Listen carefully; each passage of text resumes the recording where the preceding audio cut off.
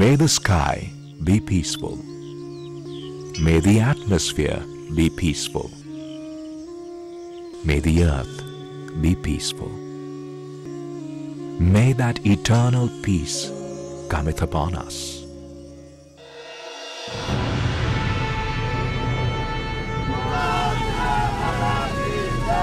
Charging for battle are Veer Jawans, the guardian angels of our skies,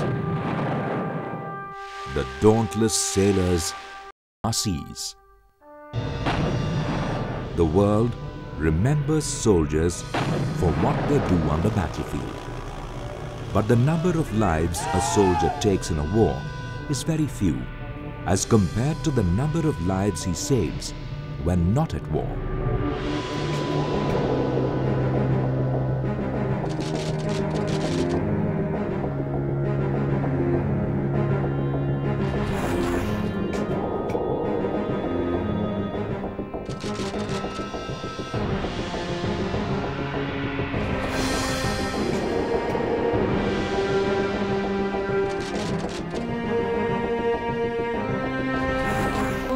जलजला हुआ जिससे हमारे घर चले गए। इन्होंने हमारी बहुत ही हलफ की।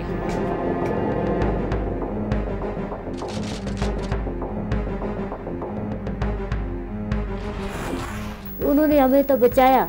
अगर वो नहीं बचाते तो आज तक हमें पता नहीं क्या करते। For your tomorrow they gave today These are the true sons of India, patriots and saviors. Who sacrificed themselves so that all Indians may sleep in peace.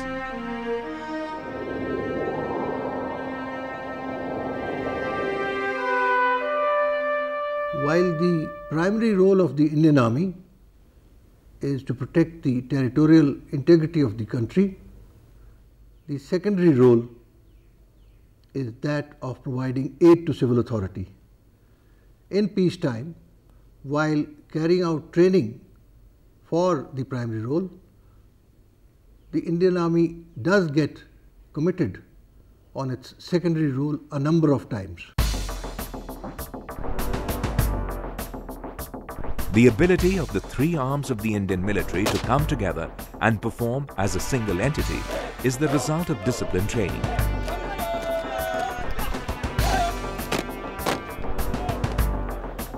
Thus is prepared a hardy soldier with a sense of responsibility. Every moment of his training, every aspect of his life, every facet of his makeover into a man of war also prepares him for his role as a soldier of peace.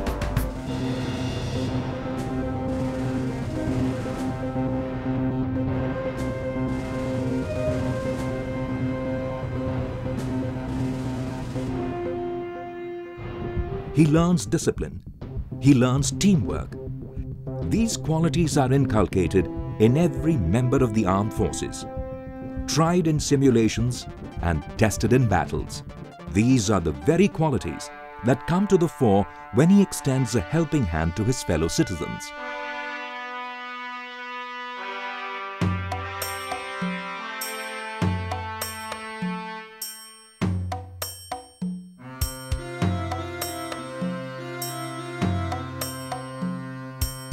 Cometh the hour, cometh the man. The moment a soldier, sailor, or airman dons his uniform, it is instilled into him that he must provide aid to all fellow countrymen, regardless of personal safety. It is a duty from which he must never shirk. Every Indian soldier born thus imbibes the skills of a fighter and the virtue of a savior.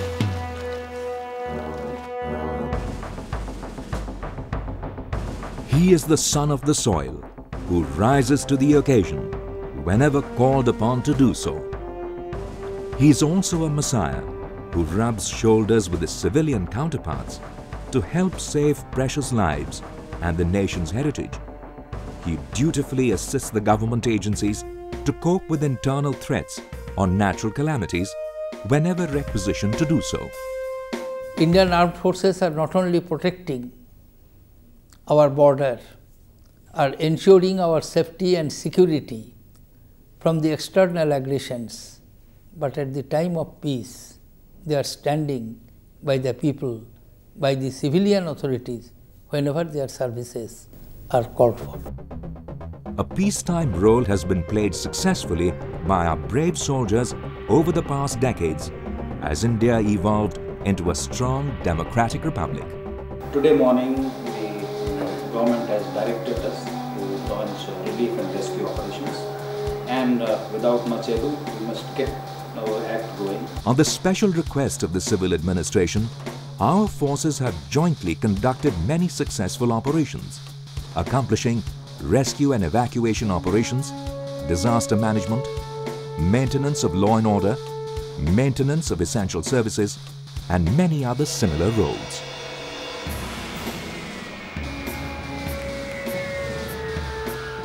By virtue of their organizational strength, motivation, training, discipline, and operational preparedness, they have always responded with promptness to any critical situation.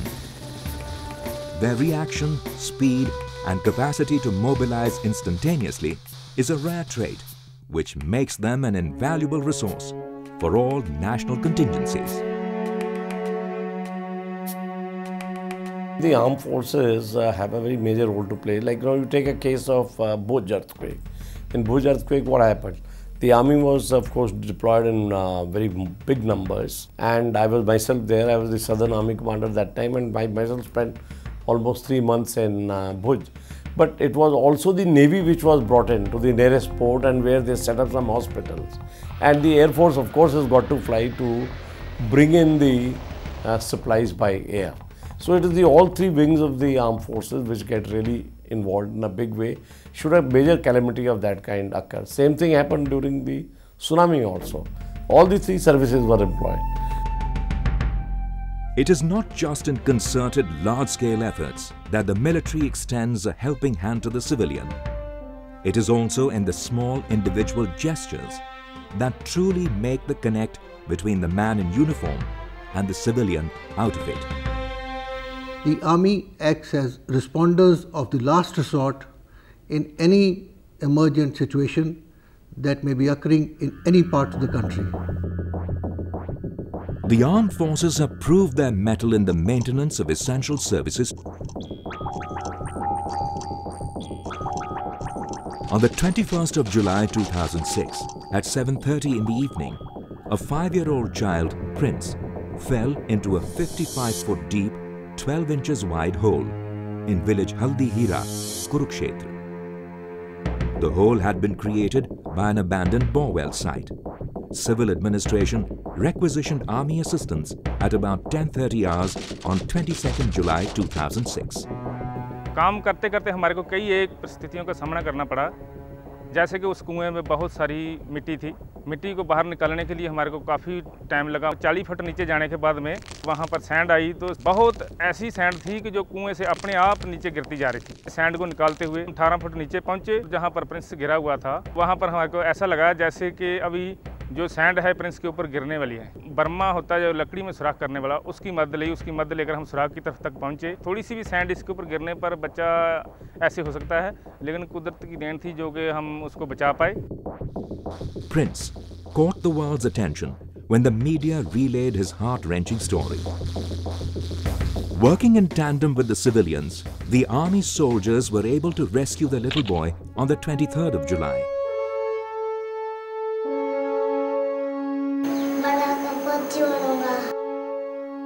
The teamwork between us, the synergy between us, as also the teamwork between the civil administration, the uh, media, the local population there, that we could accomplish so much with such less resources and which at such short notice. The men in fatigues have time and again shown great enterprise in disaster relief operations, be it an earthquake, flood, a drought, or a hurricane. The armed forces have battled the forces of nature to successfully handle each situation. Once we get an indication that uh, this uh, operation has to be mounted, the best uh, operators to start the ball rolling are the armed forces because By inherent uh, capability, we can respond very fast by sea, by air, or by ground. On 8th October 2005, a massive earthquake rocked Jammu and Kashmir, causing widespread damage. The Indian Army launched a large-scale relief and rescue operation despite the loss of 45 of their own personnel, with severe injuries to another 283 and severe damage to its infrastructure The rescue and relief efforts were commenced on war footing. फौज ने यहाँ आकर लोगों को जख्मियों को घरों से निकाला इन लोगों ने इसीलिए ट्रेनिंग की होती है दूसरों को बचाने के लिए दूसरे के पास पहुंचने के लिए दूसरे की हमदर्दी करने के लिए The army rescue teams were the first to reach isolated, inaccessible areas. 40 relief camps were established, 1,200 people rescued, 6,000 civil patients treated, 150 tons of rations, and 18,000 food packets were distributed. अपनी फौज आई उन्होंने हमें पानी पिलाया खाना खिलाया और उसके बाद हमें ये टपरू जैसा बना कर दिया During the operation, the Army utilized the Indian Air Force helicopters for moving doctors and medical teams to affected areas and for evacuating the seriously injured. The operation would not have been successful without the help from their comrades from the skies.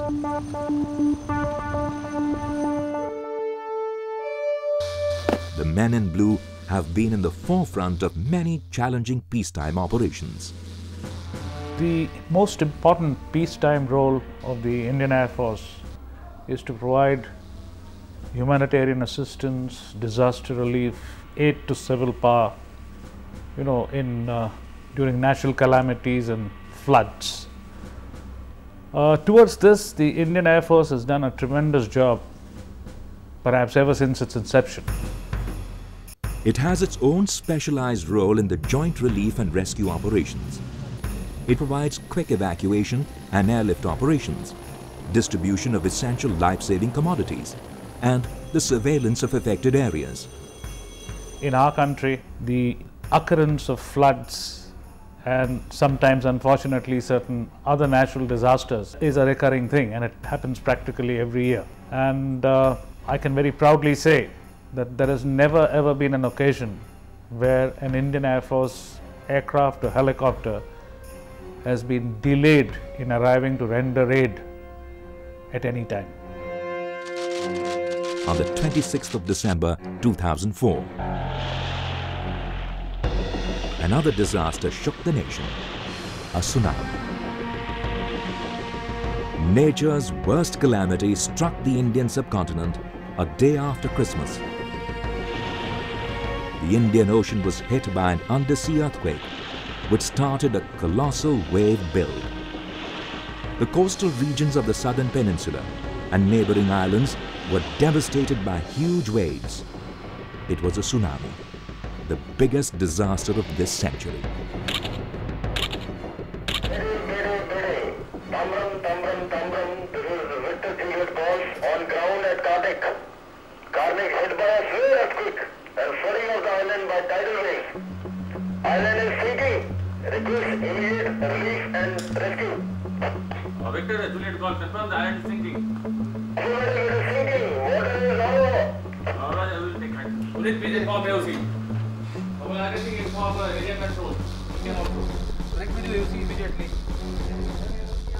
On receipt of the first information about the disaster, at 0815 hours, the armed forces swung into action.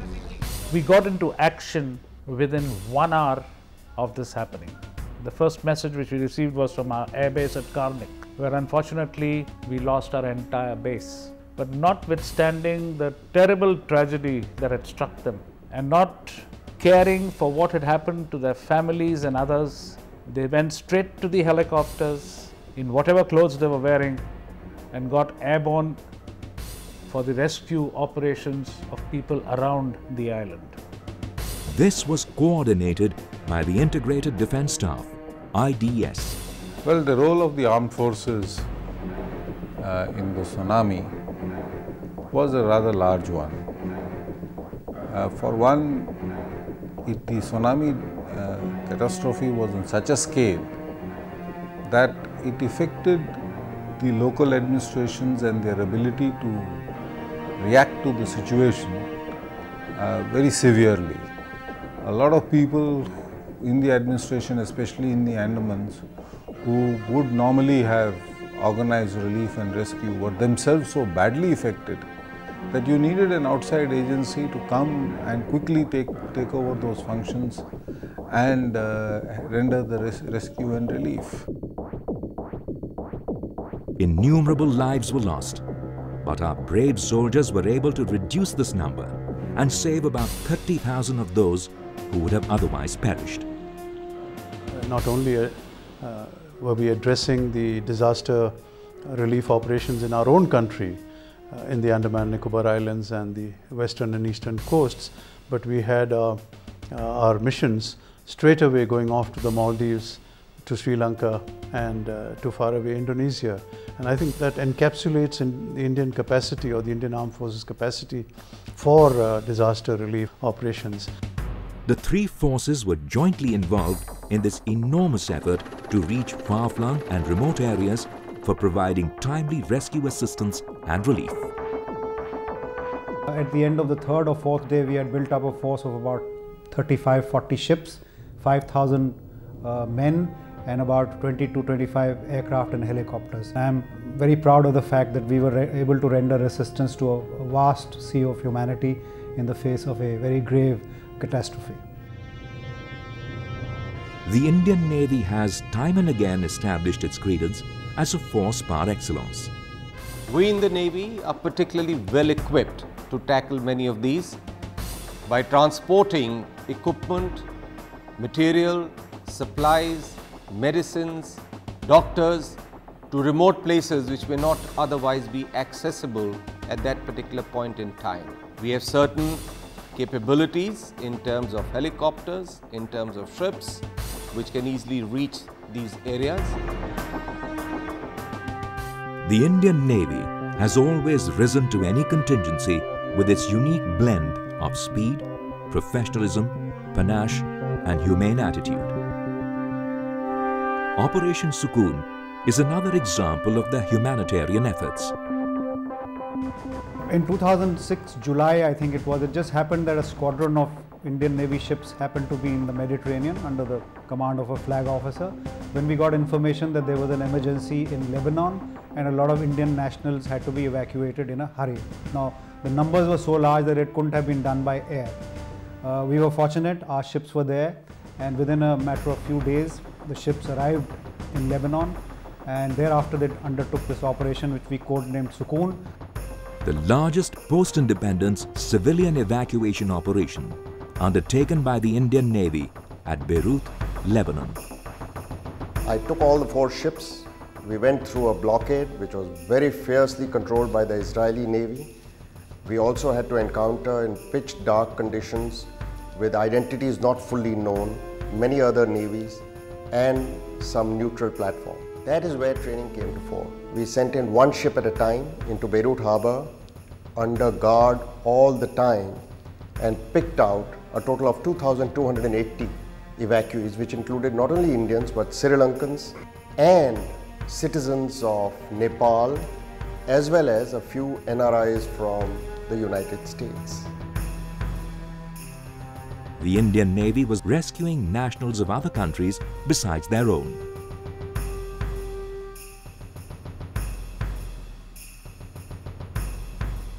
In the first lift, on 21st July 2006, 608 persons were evacuated, while in the second lift, on 23rd July 2006, another 887 persons were evacuated. This operation lasted for a total of 10 days, within which period all these evacuees were shifted in sequence by all four ships from Beirut to Cyprus, from where the government had sent Air India 747s, which picked them in waves of two aircraft at a time. The operation was very successful. Braving the perils of the oceans and the hardy life of the seas, the men of the Indian Navy have accomplished many such arduous tasks with unstinting dedication and valor. As the situation is unfolding, uh, we are taking on this onerous task as a first line of uh, duty and meeting all the requirements as and when they come up. After the immense damage caused by the Indian Ocean, it was now the river Kosi which proved its might by flooding the fertile lands of Bihar.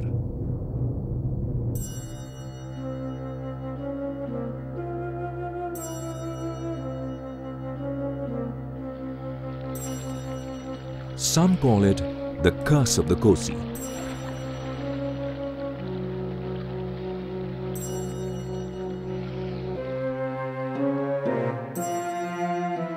The Kosi has always been called the river of sorrow because of the flooding it causes every year. But in 2008, the river has caused a catastrophe unparalleled in 50 years.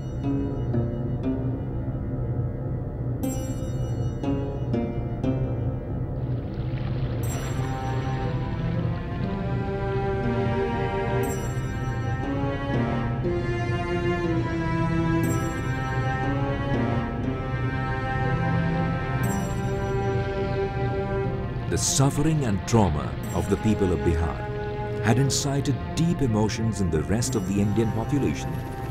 But it was the men of the three wings of the armed forces, along with the NGOs and civil administration, which emerged as the true saviors.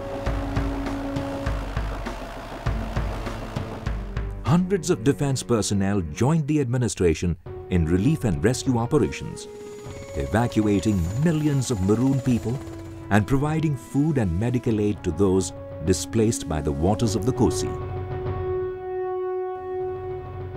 Following the breach in the Kusaha Dam in Nepal, relief, aerial relief operation was started on 21st of August and uh, Air Force made available helicopters for airlifting of food packets and dropping in areas badly affected. The operation was basically started in Supaul, Narpatganj of Araria and Madhepura districts and thereafter the number of uh, helicopters made available were increased up to 11. When the men in uniform began their humanitarian efforts, half of Bihar was underwater. People were clinging to rooftops or trees and eating leaves and plants to survive. The Indian Armed Forces began the rescue operations in earnest as soon as the disaster struck. Thanks to their capability to mobilize at short notice and organizational competence, the relief tasks were begun straight away. One must realize that unlike the normal operations where you have some lead time, is the disaster relief operations are absolutely cold start operations. The moment they start, you are expected to perform, you are expected to plan and you are expected to build up absolutely in quick time to your max relief capability. This is a great challenge for the Air Force. But the Air Force men rose gallantly to the occasion and reacted in record time. You know, the Indian Air Force uh, can provide uh, immediate relief, but in the end, uh, it has to be the Army, uh, you know, organizing things on the ground and the Navy going in and, uh, you know, evacuating people with their boats. In keeping with these requirements, their counterparts in the Army and Navy were plying the boundless flood waters in boats, effecting daring rescue and evacuation operations.